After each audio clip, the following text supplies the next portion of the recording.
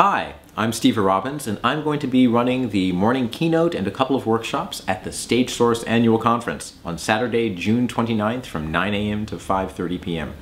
We're going to be exploring success. What does success mean and where do we get our notions of it? And then once we get our notions of it and we know where it is and what it means to be a success, how does that affect the way that we behave in the world?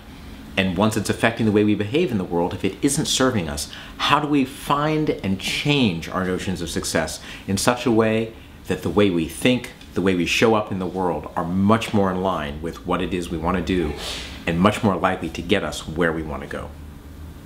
Come join me, Stever Robbins, at the StageSource Annual Conference, Saturday, June 29th, 9 a.m. to 5.30 p.m. at the ART. Sign up now at stagesource.org.